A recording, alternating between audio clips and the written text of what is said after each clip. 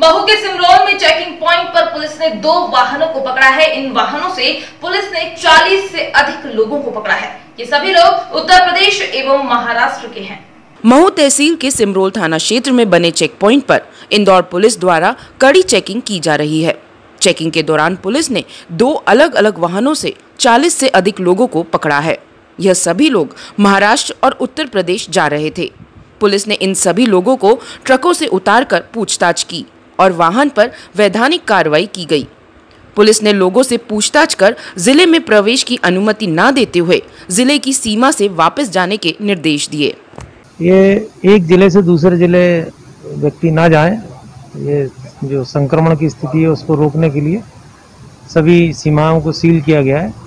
इनमें एहतियात के तौर पर सिमरोल में और सभी बॉर्डर जो थाने हैं, उनमें अलग अलग चेकिंग पॉइंट बनाए गए हैं।